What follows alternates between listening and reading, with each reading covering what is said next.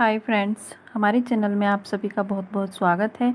तो आज देखिए, हमने ये कॉलेज की लड़कियों के लिए बहुत ही प्यारी एक ड्रेस बनाई है, जिसे आप अपने टेलर को दिखा के बनवा सकती हैं या अगर आपको सिलाई आती है तो आप खुद बना सकती हैं। आप इसके देख सकती हैं इसका फाइनल लुक और इसे हमने बहुत ईजी तरीके से ब्लाउज़ और इस कुर्ती को बनाना बताया है। तो चलिए स्टार्ट कर लेते हैं।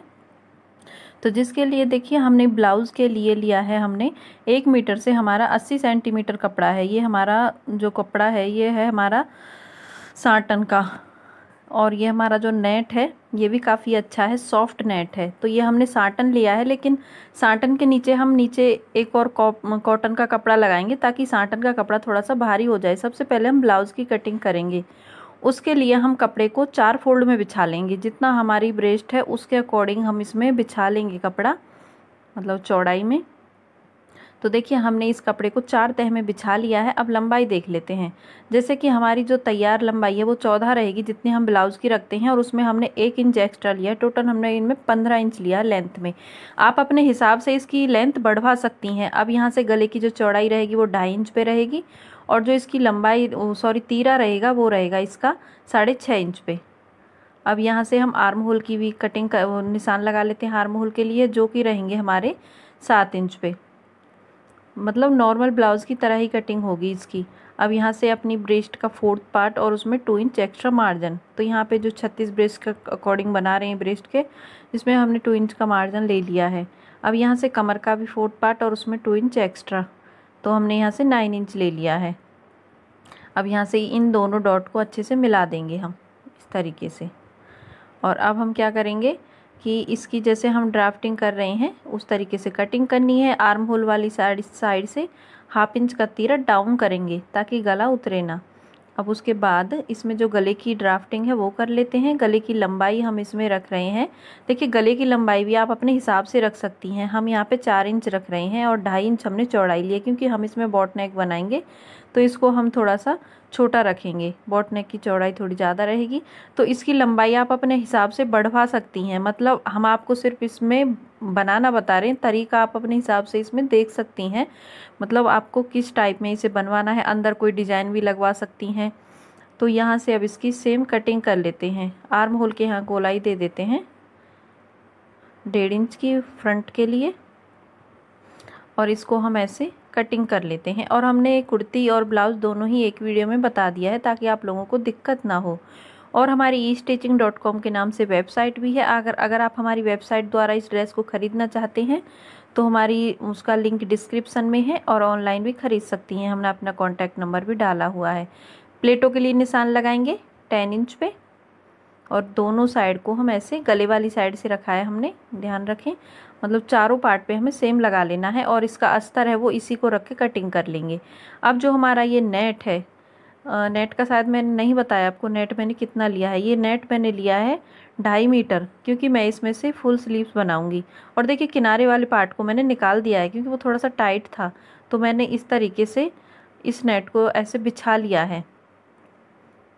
इसको बिछा के और हमने रख लिया है चार तह में। अब इस पे हम कर लेते हैं ड्राफ्टिंग तो देखिए जो नेट है ये थोड़ा सा मतलब डिज़ाइनर नेट है तो इसमें आपको थोड़ा सा मार्क कम दिखेगा। तो वो हम आपको पेपर पे समझाएँगे। तो हम इसकी जो लंबाई है, वो बयालीस इंच रखेंगे, तैयार। एक्स्ट्रा मार्जिन ले लिया है हमने उसमें, दो ढाई इंच। अब यहाँ से तीरा ले लेते हैं पहले सात इंच पे, और आर्म होल भी ले लेते हैं सात इंच पे। हम कोशिश कर रहे हैं चौक को खूब गढ़ा गढ़ा के निशान लगाने की, लेकिन वो दिख नहीं रहा है। और छाती का चौथा हिस्सा और उसमें दो इंच का मार्जिन। ये देखिए, यहाँ से हमने इलेवन इंच ले लिया है टोटल। और अब हम निशान लगाएँगे कमर के लिए आठ इंच पे और हिप के लिए लगाएँगे हम तेरह इंच पे। और इन निशानों को हम ऐसे सीधा कर देंगे, ये देखिए। जैसे हम कुर्ती में करते हैं। और अभी क्या करेंगे? कि अभी इसका भी हम फोर्थ पार्ट करेंगे। देखिए, हम फिर से बताए देते हैं, आठ इंच नीचे कमर के और तेरह इंच नीचे हिप के। अब यहाँ से कमर वाली साइड से नौ इंच पे निशान लगाएँगे, कमर का चौथा हिस्सा और उसमें हमने डेढ़ इंच ज़्यादा ले लिया है। तो यहाँ पे हम जो आपका घेरा वाला पार्ट है, वहाँ से हम ले लेते हैं तेरह इंच और उसमें एक इंच एक्स्ट्रा। तो टोटल चौदह इंच लिया है हमने बॉटम वाली साइड से और इसको अब इसी निशान से ऐसे तिरछा मिलाएँगे। ये देखिए। हम आपको पेपर पे समझा देंगे, क्योंकि हमने खूब कोशिश की है, जितना हमसे हो सका है चौक बदल बदल के लेने की भी, लेकिन ये फिर भी दिखाई नहीं दे रहा है इस पर तो उसके लिए सॉरी, हम आपको पेपर पे समझाएँगे। तो देखिए, अब इसकी सेम कटिंग कर लेते हैं हम पहले। तो देखिए फ्रेंड्स, हमने उसकी कटिंग कर दी। अब हम आपको बताएँगे हमने पेपर पे कैसे बता, उस कपड़े पे कैसे निशान लगाया था। पहले आर्म होल के लिए लगाया फिर हमने कमर के लिए लगाया आठ इंच पे और फिर हिप के लिए लगाया हमने तेरह इंच पे और फिर इन पॉइंटों को हमने इस तरीके से मिलाया, ये देखिए। और फिर हमने उसके बाद बॉटम लिया, हमने बॉटम लिया तेरह इंच पर उसमें मार्जिन समेत चौदह इंच। तो तो देखिए, यहाँ से हमने गोलाई दे ली है और हाफ़ इंच का तीरा डाउन किया था, ये देखिए, यही ड्राफ्टिंग हमने उस कुर्ती पे की थी और सेम कटिंग कर दी है। हमने आपको इसलिए बताया पेपर पे, क्योंकि उसमें चौक के निशान दिख नहीं रहे थे, ये हमें भी समझ में आ रहा था। तो अभी हम क्या करेंगे, हम एक पार्ट को निकाल देंगे, बैक पार्ट को। और इसमें फ्रंट पार्ट में हम जो कट देंगे, वो हम आपको बताते हैं, वो आपको किस तरीके से देना है। सबसे पहले देखिए, आप इसे कितना बंद रखना चाहती हैं? मतलब सोलह, सत्रह, जितना आप रखना चाहती हैं तो मैं इसे जो बंद रखूँगी, देखिए इससे ज़्यादा भी आप रख सकती हैं मतलब आपका पेट वगैरह ना दिखे तो आप इससे ज़्यादा भी रख सकती हैं तो मैं इसे उन्नीस इंच तक बंद रखूँगी। उसके बाद नीचे से मैं इसमें कट लगा दूँगी।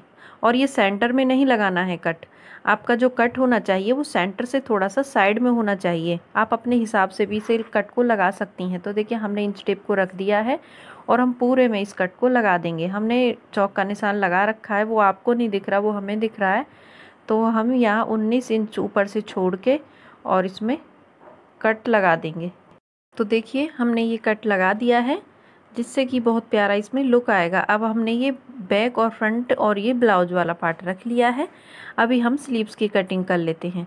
तो ये इस तरीके से हमने जो हमारा कपड़ा बचा है, उसको हमने ऐसे चार तह में बिछा लेंगे इसको देखिए। और आप स्लीव्स इसमें स्लीवलेस भी रख सकते हो, बाजू भी लगा सकते हो, या फिर आप इसमें हाफ़ बाजू भी रख सकते हो। तो हम इसकी जो बाजू की लंबाई वो टोटल हमने सत्ताईस इंच ली है, मार्जिन समेत। अब जो खुली वाली साइड है वहाँ से थ्री इंच पे निशान लगा के और चौड़ाई साढ़े आठ इंच ली है और इस तरीके से मिला देंगे इसको। और यहाँ से हम गोलाई दे के और फिर जो इसमें सेप होती है वो दे के कटिंग कर देंगे। तो देखिए ये हमने और फ्रंट पार्ट के आर्म होल की भी हम कटिंग कर देंगे।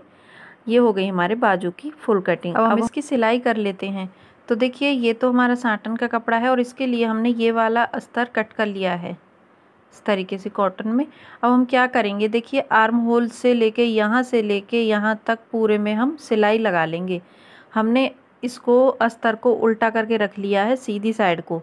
देखिए हमने सीधी सा, उल्टी साइड को सिलाइयाँ लगा ली हैं। अब हम इनमें छोटे छोटे कट लगाएँगे।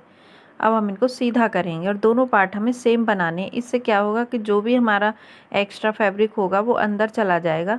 तो देखिए हमने ये पूरे में लगा लिए। अब हम क्या करेंगे कि अब इसमें हम फिटिंग वाली साइड से स्टार्ट करेंगे और किनारे के ऊपर सिलाई नहीं चलानी है। सिलाई को एक पॉइंट हटा के चलाना है। तो ये देखिए, हमने बहुत ही फिनिशिंग के साथ इसमें सिलाई लगा ली है। आप देख सकती हैं कि बहुत अच्छे तरीके से ये तैयार हो गया है। अब प्लेटों के लिए निशान लगाएँगे क्योंकि वो हमारा मिट गया था तो साढ़े तीन इंच की दूरी दी है हमने गले वाली साइड से और पाँच इंच इसकी लंबाई है। अब हम एक साइड और प्लेट डालेंगे। साढ़े पाँच इंच पर निशान लगाएँगे और प्लेट की जो लंबाई है वो आप अपने हिसाब से, जैसे कि हम इसे तीन इंच की दे रहे हैं, तीन चार इंच तक दे सकती हैं, इसमें थोड़ी सी प्रिंसेस शेप आ जाएगी और आगे से बहुत प्यारा इसका लुक आएगा। तो हम इस प्लेट की जो चौड़ाई है, वो आधा इंच के लगभग ले रहे हैं और यहाँ से सिर्फ़ सेप के लिए ले रहे हैं। आप इसमें कब भी लगवा सकती हैं, लेकिन ऐसे भी इसकी फिटिंग बहुत प्यारी आती है। अब इस साइड से भी इस प्लेट को हम इस तरीके से पकड़ेंगे और डाल देंगे और जो दूसरी साइड से प्लेट हैं दो, उनको भी ऐसे ही डाल लेंगे हम। बैक पार्ट में भी हमने दो प्लेटों के लिए जो निशान लगाया था कटिंग करते टाइम उस पार्ट को और ऐसे ही हम उसको भी तैयार कर लेंगे, जैसे इसको किया है। तो देखिए, हमने दोनों साइड को प्लेट डाल दी है, ये हमारा बैक पार्ट है। इसको भी हमने ऐसे ही तैयार कर लिया था, जैसे हमने इसको किया था। अब दोनों का तीरा ज्वाइंट कर लेते हैं। देखिए, दोनों का तीरा एकदम बराबर ज्वाइंट हो गया है। अब एक एक सिलाई इसके शोल्डर पे लगा लेंगे। ताकि ये अच्छे से फिक्स हो जाए। अब देखिए, हमने फिटिंग के लिए निशान लगा लिया है। अब चाहें तो आप इसमें हुक लगा लीजिए, चाहे आप इसमें जिप लगा लीजिए। तो हम एक साइड को जिप लगाएँगे। और पहले फिटिंग का निशान अच्छे से लगा लें अपने किसी पुराने ब्लाउज से या किसी से भी। तो हमने एकदम फिटिंग का निशान लगा लिया है। अब एक्स्ट्रा फैब्रिक को हमने साइड में रख दिया अब हम क्या करेंगे कि इस साइड भी हमारा फिटिंग का निशान है। तो देखिए, यहाँ से हम डेढ़ इंच तक खाली सिलाई चलाएँगे। उसके बाद हम जिप लगाएँगे। तो पहले हम यहाँ से इसे डेढ़ इंच तक हमने सिल लिया है, अब इसको ऐसे रखेंगे और जिप को हम इस तरीके से रखेंगे इसके ऊपर। ऐसे सीधा करके सीधा करके रखेंगे और दोनों साइड से हम जिप को ऐसे ही लगा लेंगे। हमने एक वीडियो स्पेशल डाली हुई है क्योंकि वीडियो ये बहुत बड़ी हो रही थी। हम तो अलग से सोच सोच रहे थे कि अलग से डालेंगे, लेकिन फिर आप लोगों को बहुत परेशानी होती है। इसीलिए हमें दोनों पार्ट एक में ही जोड़ने पड़े। क्योंकि बहुत बड़ी हो जाती है फिर वीडियो, इसीलिए हमने सब कुछ थोड़ा थोड़ा आपको सब कुछ जल्दी जल्दी बताया है।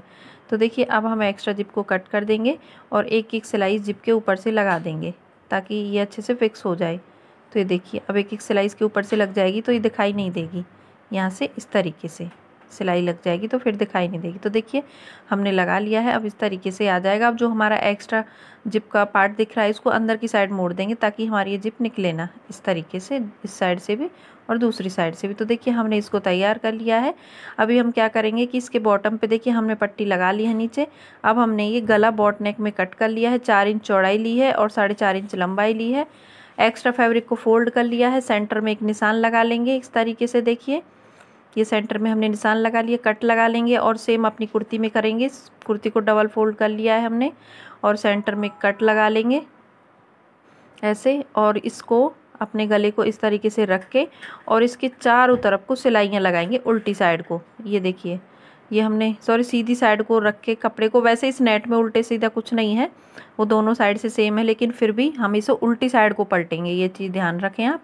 सीधी साइड को रख के सिलाई लगाइए छोटे छोटे कट लगा लिए, ऐसे पलट के और एक सिलाई इसके ऊपर से लगा देंगे। तो देखिए, गला बहुत ही अच्छे से तैयार हो गया है, अब इसके ऊपर हम पट्टी लगाएँगे।